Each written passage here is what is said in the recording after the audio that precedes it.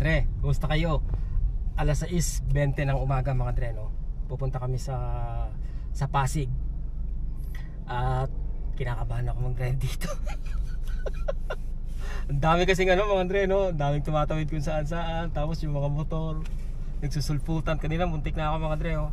Pakanan ako, ang liit lang ng clearance Sumingit pa yung motor Pambira oh.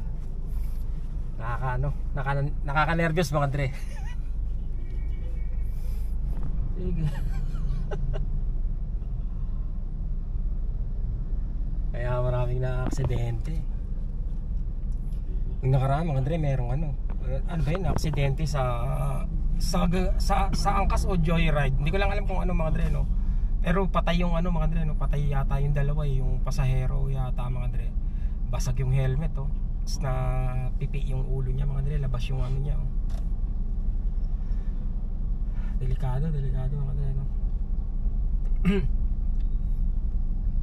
yung expander pala mga Dre.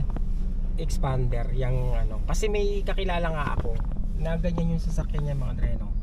Sabi niya talagang may kahinaan pumatak mga Dre no. Tsaka malakas sa gas mga Dre. Sabi niya nga kung may choice lang daw siya hindi kumbaga hindi na sana expander yung kinuha niya mga Dre no. Sabi niya ganun. Kasi nga naisip ko yan talagang sabi niya huwag kang kukuha niyan kasi kung ako may choice ako ngayon kung ngayon mo ko tatanungin ayoko na neto gusto ko itong palitan. Sabi niya ganun mga treno. Ito malaki, no? malaki sana maganda. Eh kaya lang kung malakas sa gas especially sa city driving mga treno eh hindi worth it lalo na kung ibang gagrab mo. May nagsasabi yung Innova nga mga treno o kaya yung Rush pala sana no? Toyota Rush. Gusto ko sanang mas malaki-laking sasakyan mga dre. Let's say Toyota na mas malaki ng konti. Kaya lang mas lalaki nga yung ano yung down payment mas lalaki yung monthly. So hindi kaya mga dre no?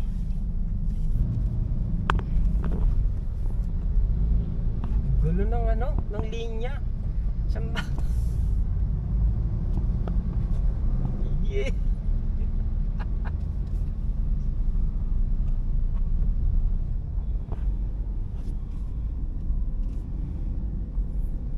tayo sa Palapala mga dre no. Doon sa kanan patagay tayo. Kaliwa pa pa Manila. Pero dito tayo dadaan sa ano eh. Ewan ko. Sa Kaliparan pala tayo dadaan. Ang oras, ang biyahe pala namin mga dre no. 2 hours and 17 minutes. Padre, may nakita akong ano. Ah, nagtanong pala ako sa Toyota mga dre no, para sa backup camera kasi wala tong backup camera eh.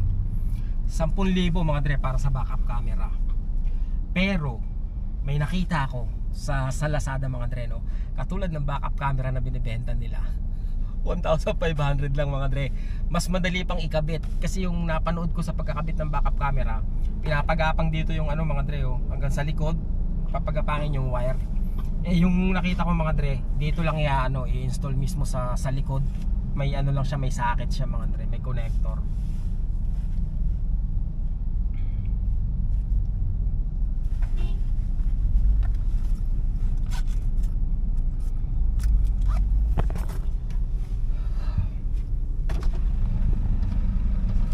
Ayun, tawa na.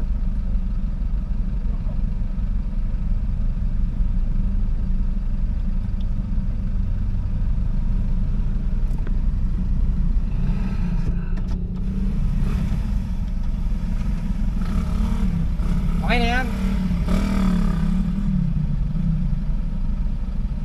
Thank you.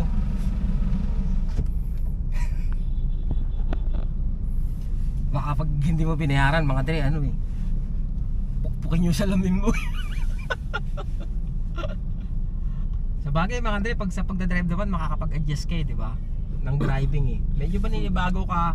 Katulad nga niyan, pa Manila kami mga dre, no? talagang medyo kinakabahan ako. Especially hindi ko alam yung lugar na pupuntahan. Pero driving is driving, no?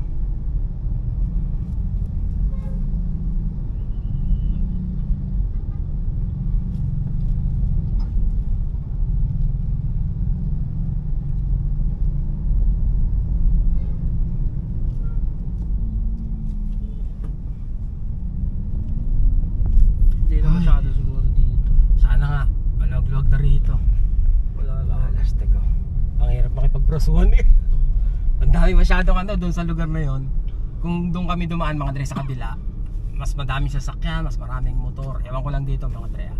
Doon kasi yung daanan ng bus, di ba, mga jeep? Hopefully wala masyado rito. Tsaka maganda rito mag-drive mga dre kasi hindi ka naman tatakbo rito ng ano eh. Sandaan eh. Kaya kampante ako. Yun ang iniisip ko mga dre no. Medyo kampante ako sa pagdadrive kasi hindi ka bibilis. Tapos hinto ka pa ng hinto.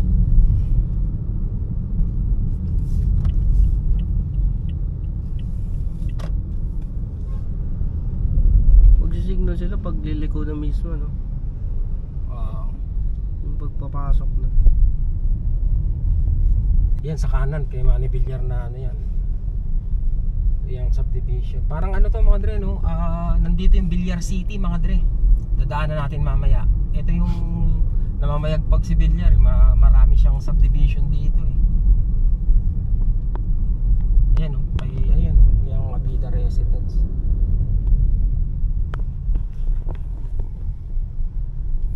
Walang right of way, right of way dito mga dre. Dito palakasan ang loob.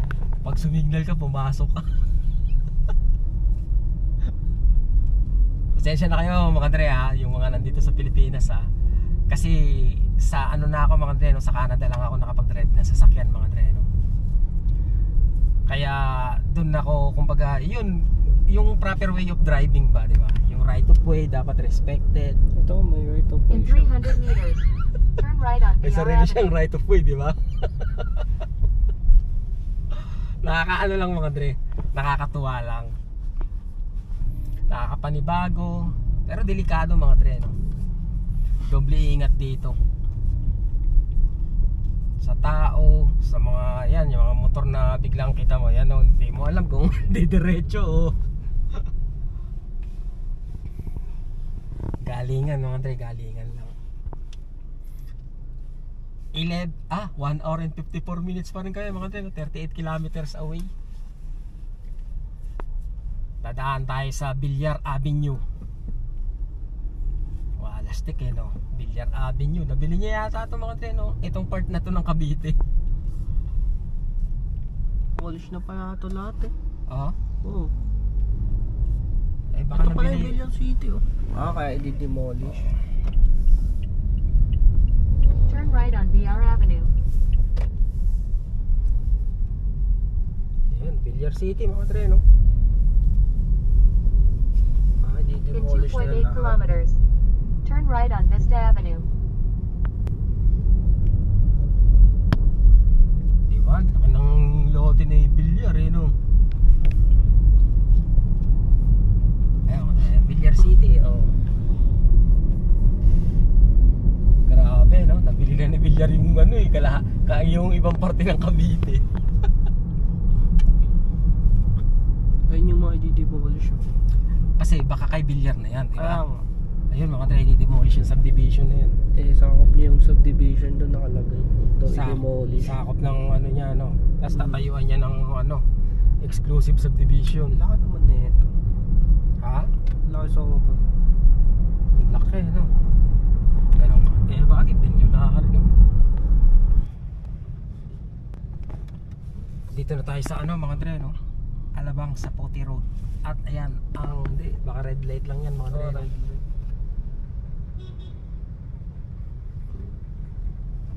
Dito na naman tayo sa magulong daan, mga. Ako yung natatakot para sa mga ano eh, para sa mga motor. Ah, nakagreen na mga dre. Sige, una na yung mga motor. Ayan, okay, tinanin, sige. Oh, then, oh, sige.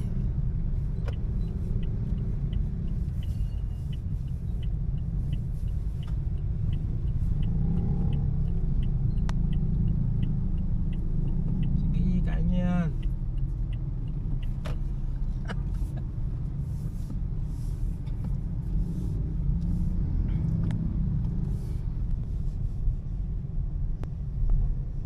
Dito na tayo sa ano mga Andre, no? Ano ba ito pa, EDSA? Kasi nagkamali ako ng ano, ng daan. dapat sa tagigang labas namin mga Dre, no, doon kami dumaan sa may ano eh. Sa may alamang ba yun? Mm. Nagkamali ako ng pinasok. Na skyway kami eh. Tapos dito na kami lumabas mga Dre, no. Mahal pala skyway, 165. 165 pa rin? Oo. Kaya ayan, dito kami ngayon sa traffic. Ano ba to? LRT? Ano ba to? Anong ano to? Saan ba tayo? MRT yan. Ano? Where are we? Saan yun? Sa gilid mo pa. Oh.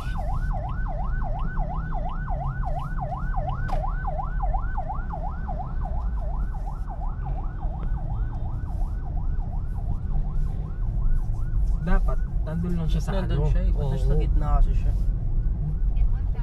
Hindi, sa bagay dito wala kasing rules eh. Paano-ano lang siya eh, di ba? Kasi pag ikaw, pag sa Canada mga dreno, pag may pulis, ambulansya, bombero, ang tendency mo dapat mga dre, pag umaandar ka kakanan ka mga dreno, bibigyan mo siya ng daan. Ganun ang style sa Canada mga dreno. Kahit gaano kasikip yung daanan mo mga dre, dapat tumabi ka talaga. Oo, susundan niya ng lahat. Ayun ang isang bagay rito, yung sinusundan nila yung ano. oo. Mga dre, ang style pala, In 6.3 Kasi- kilometers. Keep right. napansin namin mga dre no kasi kung saan saan lumulusot yung mga motorsiklo eh di ba yung mga single mga dre so kung, kung nagda-drive ka mas safe kung hindi ka magalaw ba sa pagda-drive no straight ka lang. Kasi sila pasingit-singit sila ganun ganun sila oh. Kaya pag biglang kabig ka doon nag oh shit. Saan ako?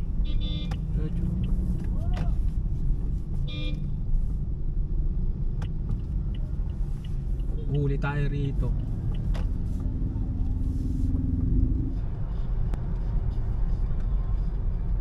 Rerouting. You save 8 minutes via 1 EDSA North Makati and avoid traffic building up on your route.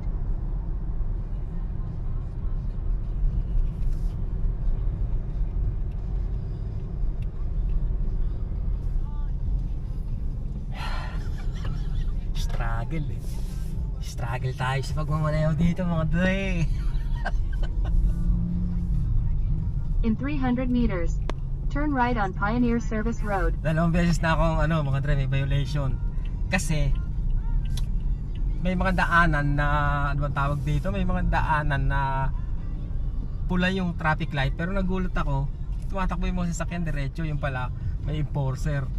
Ngayon, meron uling pula na pag ano pala naka-yellow pala, warning na no. Pag-i-stop na dapat. Beating the red light ako mga dre, buti walang ano, walang enforcer. Tapos sumunod naman swerving. Andito na tayo mga Andre no sa ewan ko saan to.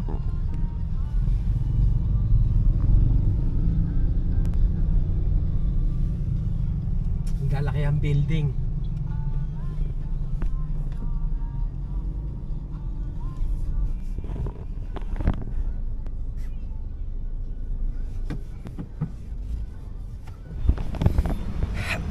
Break time muna tayo mga Andre no kasi ay ko, maaga pa naman mga Andre no.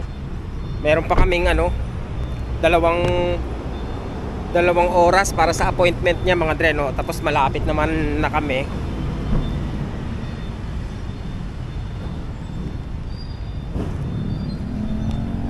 Itong pinaka nakita namin mga Andre ha. Hindi na kami nakapili, pasensya na kayo ha. Yung breakfast pala corned beef fry no.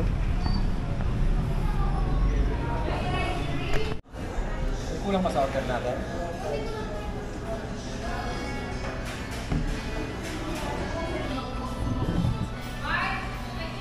Ito yata eh, no? Yan. Hmm, yan o. Salamat naman. Tagal ng biyahe para tayo bumiyahe ng ano eh. Quebec City.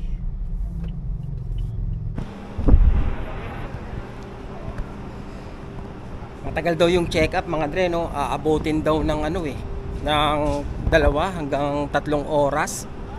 Kaya dito muna tayo mga dre no. sagutin natin yung ibang ibang katanungan nyo mga dre. Hanap lang tayo magandang pwesto. Tungkol sa kotse mga dre no. Tungkol sa kotse ano po, kumbaga maluho daw ako mga dre. Ah, hindi po ano yun, hindi personal use. Talagang ang intention po doon sa bagong kotse na nakuha namin is ipasok po sa ano, sa Grab or sa Joyride. Tapos ah, may nagsabi nga dito mga dre no, si Rewarding Life. Sabi niya, kumbaga paano daw yung ano, ROI, return of investment mga dre no. Sabi niya parang break even lang. Kailangan pa rin magpadala monthly. Sabi niya ganoon mga dre no. Bali naisip ko na yan mga dre no na na teka lang mga dre ah. Grabe to si Kuya oh.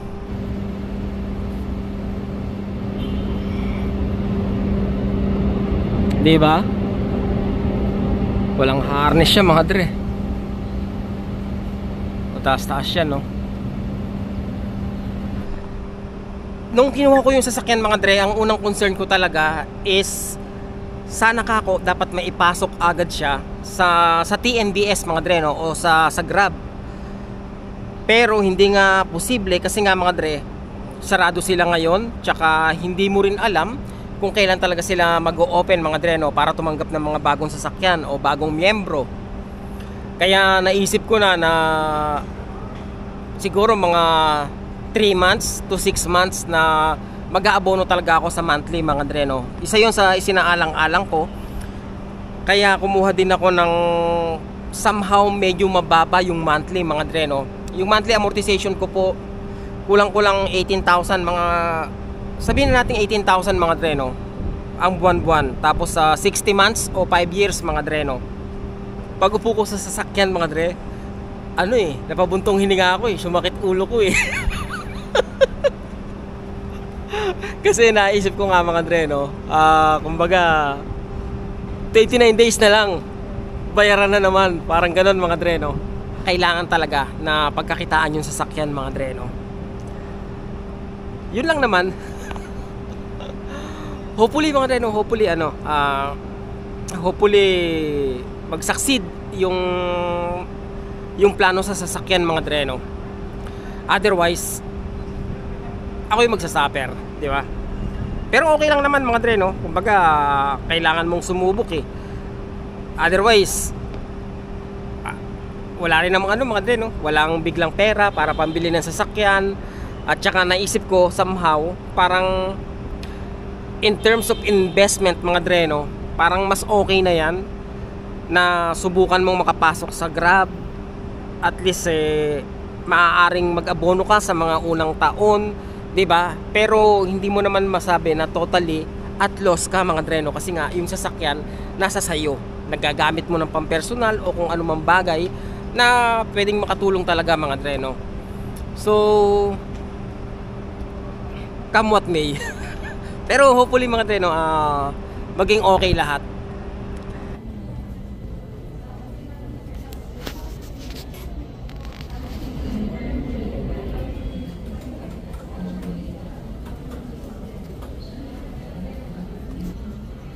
Etong mga re- etong resetang gamot na to, Ano lang, pre- pre- preparation, preparation para sa operation. Hmm, Lubricant. Lubricant, merong ayun nga may steroid oh. Ayan oh. 3 hours. Every 3 hours yung lubricant. Eh. Mga drops yan. Oh, tapos yung steroids, 3 times a day. Bibili namin to sa baba mga dre, may butika daw dyan yung Watson. Nabulang mata ko. Mamaya mga dre, oh, i-discuss natin kung ano yung ginawa sa kanya sa loob, tsaka mamaya discuss natin sa sasakyan mga dre, no? Para rin sa ano mga dre, no? Para rin sa mga kung sakali yung mga may malalabong mata mga dre, no? At nagpaplano na magpa LASIK. Yan.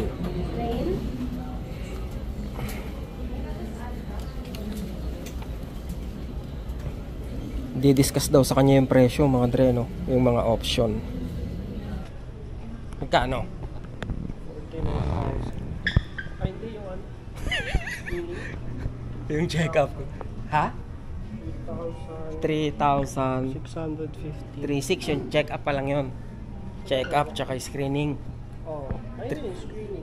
3,600 mga Andre, no? Yung check-up tsaka yung screening para sa araw na to. Ah, dumating kami dito mga Andre.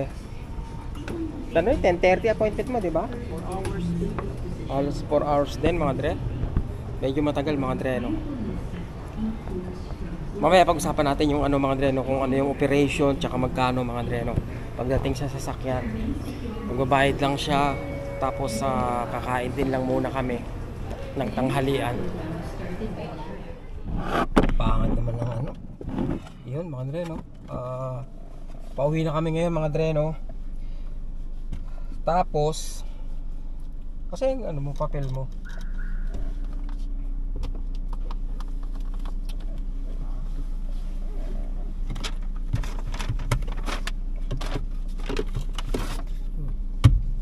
Pauwi na kami mga dre, no? Kumbaga, ah, sabi sa kanya ng doktor mga dre, lahat ng klase ng procedure pwede raw sa kanya. At ito yung mga klase ng procedure mga dre, no? Kumbaga unang-una is yung LASIK mga dre no o LASIK 86,000 mga dre. Tapos yung sumunod is photorefractive keratectomy 49,000. Sumunod yung trans PRK 54,000. Corneal collagen cross-linking 42,000. So, Akala ko abot ng 100,000 eh. lalagay ko rito mga Dre ah, yung ano, dito sa baba, itong screenshot na itong ano, yung price quotation mga Dre, no. So maganda yung ano nila, yung, Yung ano? check-up nila. Maganda yung check up nila kasi thorough mga Dre, no. Parang dalawang doktor pa yung taon dalawang doktor. Hmm.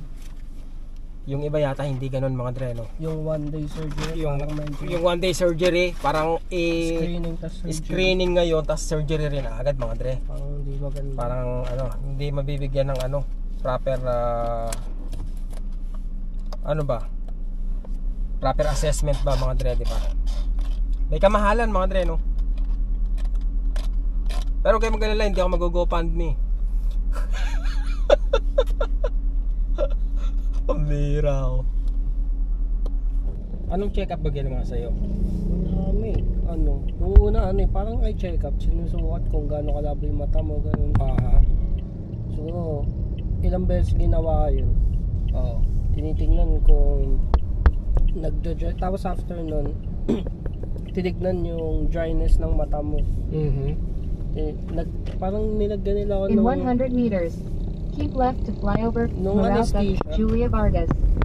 No, Anesthesia? Na drop. So, yun daw yung gagamitin din sa surgery. So, nilagyan nila ako nun. Tapos, parang Keep dinikita left to nila ako sa flyover mata. Moralta, Julia. Vargas.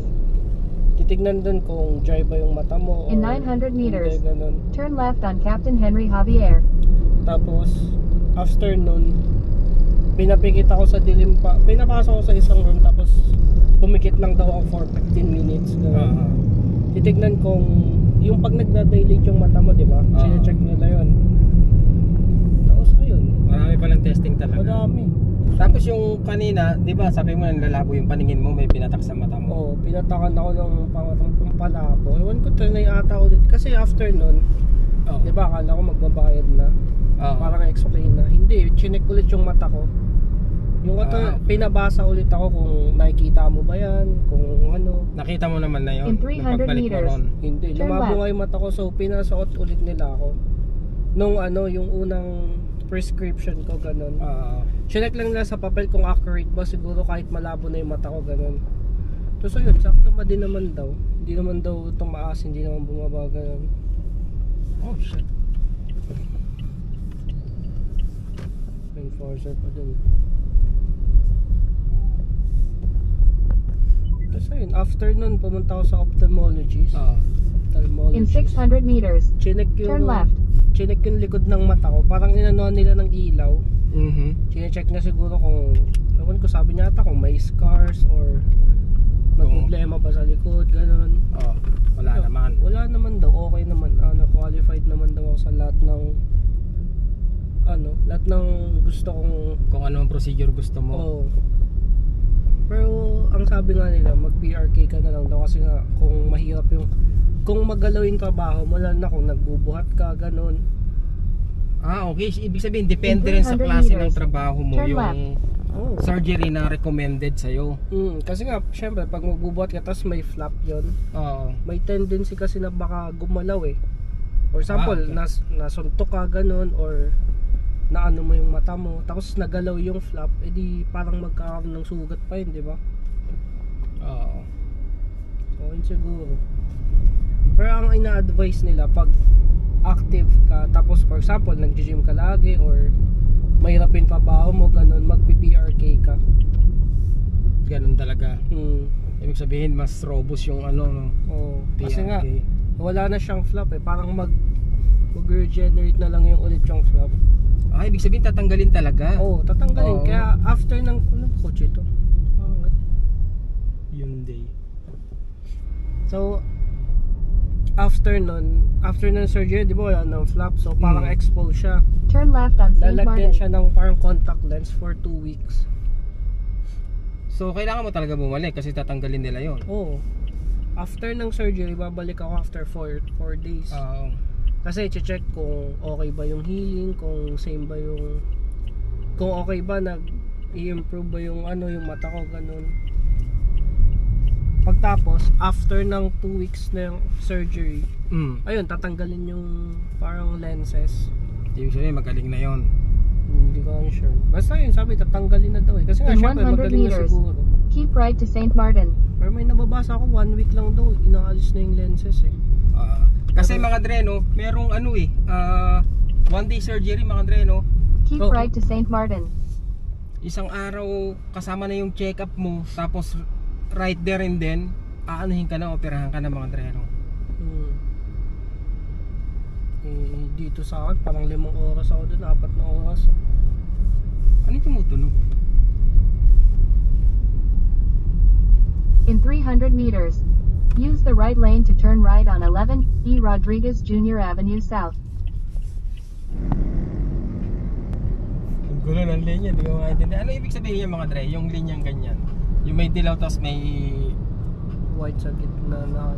Oh, baka absent ako mga dre nung naituro. Baka matagal na yun. Kasi pag solid line, hindi ka talaga pwede mag-overtake, di ba? Oo. Solid line na puti.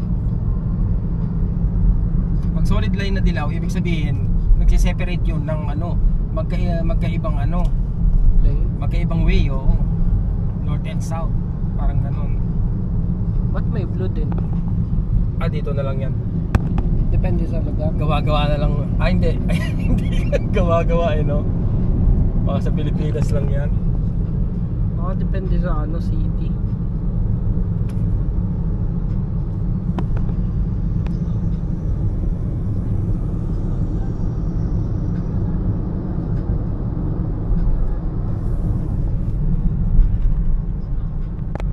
Kilometers. At the roundabout, take the second exit on Vista Avenue. Nagkamali na naman ako ng ikot mga tre. Napunta kami sa expressway. Tapos, ang mali uli, dapat nag-Carmona exit na lang ako. Pero dito pa ako nag-exit sa San Pedro. Galing ko, di ba? May ways na yan mga tre ha. Anyway, parang break-in na rin, no? Paikot-ikot ka. Pataas to mga dre, oh. Taas niya, mga ano to, mga 30% or oh, siguro mga 30% na pataas to mga dre. Pero panis kayo ano. Panis, oh, hirap na hirap eh. hirap na hirap si Vius eh. Kaya pa ba? Hindi naman. Hindi naman ah. Ayos lang, oh. Ang ginagawa na itong isa na to. Siya yung naiahapan eh. Hindi sana ginilig niya. Di ba? Ano ano niya eh. Tricycle dito, maharurot ah. Pero dapat talaga na gano'n kami mga teno. Carmona exit. Anyway, hindi ko talaga alam mga dre, no? Ngayon lang ako nakapag-drive dito mga dre, no, sa Pilipinas. At saka ngayon din lang ako nagkasas nagkasasakyan dito mga dre, no? Dati e-bike lang po ang service ko. Sa Canada na po ako nakapag-drive. Kasi hindi naman ako makakapag-drive talaga eh. Sa ulin. Loko yung truck na yun, kinain na lahat. Ah, ano to? Ba't? Ayos ah. Parang bilis nila kung may ginagawa dito. Ang kukulit eh, no? Blind spot Parang wala yan eh. silang ano? Parang wala silang mga kasalubong. Oh. Ah, uh, buwis buhay tao rito sa pagdadrive. Mandadamay pa. Mandadamay pa ng OFW.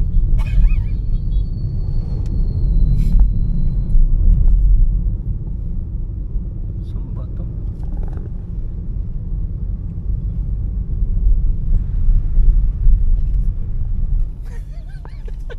Anong oras na mga Dre? Ano na, no? Ba't na ay pakita yung oras na yun? 27. 5 5.27 mga Dre, no?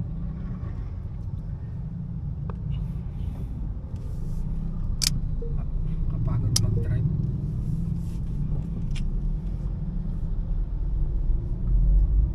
Lahat ano eh. Kahit saan. May tatawid, motor, tao, sasakyan. Kaya nga, dati ka ang gagalaw. Kaya dapat wag ka gagalaw sa linya mga Dre, no? Kasi pag tingin mo ng ganyan, malinis. Wala. Pagkabig mo, biglang may lumusot na pala. Katulad yan. Oh, yun. Oh. Zipper. Bawal sa ano yun mga Dre, no? Bawal sa Canada. Sa Canada mga Dre, ah, ang motor considered as four wheel mga Dre, no? Hindi mo pwedeng tabihan. Dapat nasa huli ka niya or nasa unahan mga Dre. no? Pag tinabihan mo yon baka maano ka niya masenyas ka ng hindi maganda o kaya mahuli ka ng pulis Customize ba yun sa Montero? Umiilaw yung likod din. customize siya pinalagay LED okay mga Dre malapit na kami sa bahay pagod na pagod na si Dre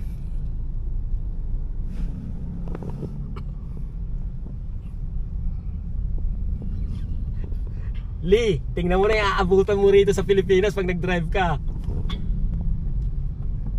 Nag-drive siya dito. Oo. sa batalyon ng motorsiklo eh. Parang mga ano eh. Mumumbulate. Tama, sunod-sunod yan. Pag nakasingit yung isa. Sige. Talagang ano sila eh, kasi hahanap ng lulusutan eh, di ba? Mm. Ah, tapos may jeep na ganyan, wala signal signal, sige. Dapat tinuhuli yan eh, no signaling eh. Okay. Violation yan eh.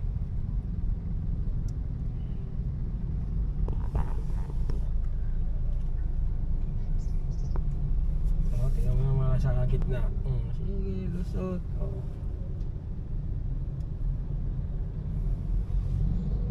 Mm. Kung nakikita nyo yung parking dito sa squatter area namin. Kasi dito mga dre, pagtapat ng bahay mo, yun yung parking mo. Kaya ganyan ang sistema rito mga dre, no? para kami squatter dito eh. Oh. Di ba?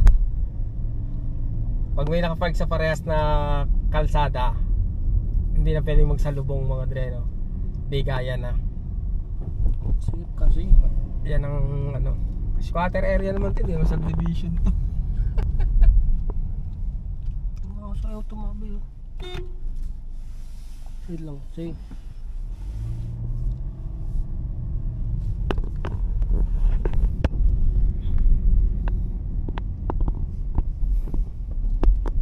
Oh. Tignan mo rito mamaya ako naman pag may napatapat dito sa may kaliwa ako na ano, patong crane. Hmm? Wala eh, dito sa kaliwa. Kasi sobrang sikip ba ng daanan na hindi hindi kasya kahit tricycle. Mm. Yan dito sa kaliwa.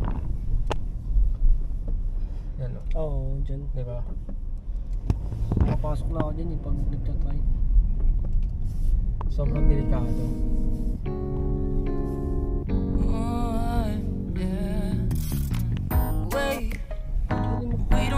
Start the day.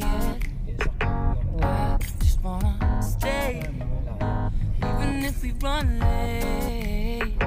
This morning, let's take our time. Everybody needs a break, like sometimes. Wait for just an hour more. What's the